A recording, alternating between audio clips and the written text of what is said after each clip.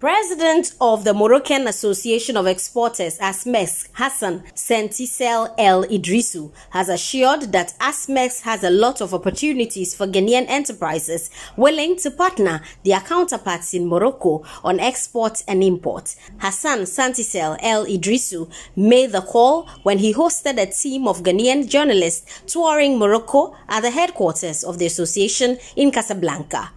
According to the ASMEX president, in line with the new trade policies of Morocco, the association has been well positioned to offer products and services to Ghanaian companies across various industries and sectors based on mutual grounds. ASMEX has a capacity to manage 9,000 companies, hence can serve as a gateway.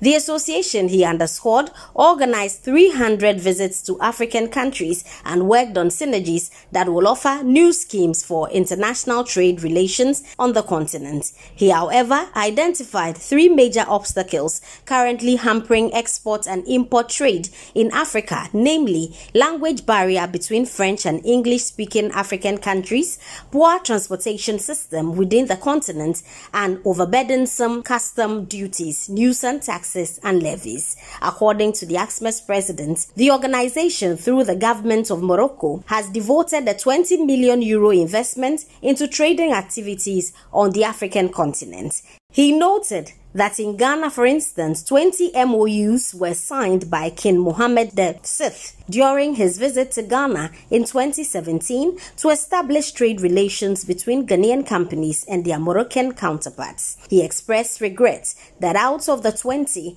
only quarter of the total number of MOUs have so far been implemented and the remaining still in the pipeline. The Moroccan Association of Exporters, ASMEX, was established in 1982 and has since widened its tentacles across 14 regions of Morocco.